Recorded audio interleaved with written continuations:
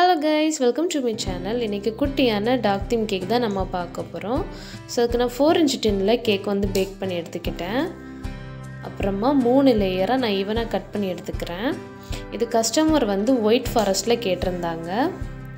நான் போர்ட் மேலே கொஞ்சமாக க்ரீம் அப்ளை பண்ணிவிட்டு நல்லா ஸ்ப்ரெட் பண்ணி விட்டுக்கிறேன். அப்போ தான் கேக் வந்து போர்டை விட்டு நகராமல் இருக்கும். ஃபர்ஸ்ட் லேயர் வச்ச அப்புறமா நல்ல சுகர் சிரப்பால் சோக் பண்ணி எடுத்துக்கிறேன். பைப்பிங் பேக்கில் விப்பிங் க்ரீமை ஃபில் பண்ணிவிட்டு நல்லா ஈவனாக ஸ்ப்ரெட் பண்ணி விட்டுக்கிறேன். இது ஒயிட் ஃபாரஸ்ட்டுங்கிறதுனால ஒயிட் சாக்லேட்டை நல்லா கிரேட் பண்ணிவிட்டு கொஞ்ச நேரம் ஃப்ரிட்ஜில் செட் பண்ண அப்புறமா நான் ஃபில்லிங்ஸ்க்காக கொடுத்துக்கிறேன். அப்போ தான் கேக் வந்து கடிக்கும்போது நல்லா க்ரன்ச்சியாக இருக்கும். ஸோ நான் வழக்கம் போல் மூணு லேயருமே பண்ண ஸ்டார்ட் பண்ணிட்டேன். ஒருவேளை நீங்கள் நாகர்கோவில் இருக்கிறீங்கன்னா உங்களுக்கு கேக் ஆர்டர்ஸ் வேணும்னா கீழே தெரிகிற நம்பரை காண்டாக்ட் பண்ணுங்கள் ஹோம் டெலிவரி கூட அவைலபிளாக இருக்குது நம்ம சேனலில் ஆல்ரெடி பேக்கிங் பவுட்ரு இல்லாமல் பேக்கிங் சோடா இல்லாமல் சாஃப்டான ஃப்ளஃபியான வெனிலா ஸ்பாஞ்ச் கேக் எப்படி பண்ணுறதுன்னு வீடியோ அப்லோட் பண்ணியிருக்கேன். வேணுள்ளவங்க செக் பண்ணி பார்த்துக்கோங்க. நான் டிஸ்கிரிப்ஷனில் லிங்க் வந்து பின் பண்ணிக்கிறேன். ஸோ நான் ஃபைனல் லேயருமே வச்சுட்டு நல்ல சுகர் சிரப்பால் சோக் பண்ணி எடுத்துக்கிறேன்.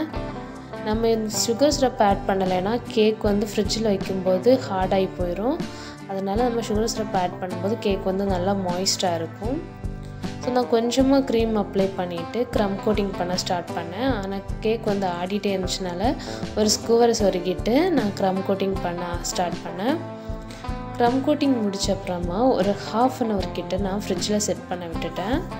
இல்லைனா நம்ம மெயின் கோட்டிங் கொடுக்கும்போது க்ரம்ஸ் எல்லாமே வெளியே வரும். ஸோ நான் மெயின் கோட்டிங் கொடுக்கும்போதே எனக்கு க்ரீமில் வந்து ஏர் பபிள்ஸ் வந்து ஃபார்ம் ஆயிருந்துச்சு. ஏன்னா கேக் பீட் பண்ணுறதுக்கு முன்னாடி வந்து விப்பிங் க்ரீமை ரெடி பண்ணி வச்சுட்டேன் அதனால்.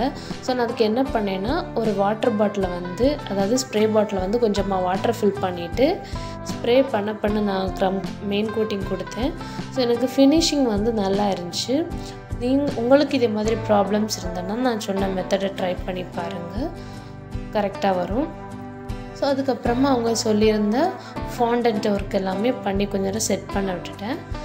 அப்புறமா அந்தந்த பிளேஸில் வந்து கொஞ்சமாக க்ரீம் அப்ளை பண்ணிவிட்டு பண்ணி வச்சுருந்த ஃபாண்டன்ட் ஒர்க் எல்லாமே பண்ணி இந்த கேக் டிசைனை நான் கம்ப்ளீட் பண்ணிட்டேன். உங்களுக்கு பிடிச்சிருந்தா லைக் பண்ணுங்கள் ஷேர் பண்ணுங்கள் கமெண்ட் பண்ணுங்கள் மறக்காமல் சப்ஸ்கிரைப் பண்ணிக்கோங்க. தேங்க்ஸ் ஃபார் வாட்சிங்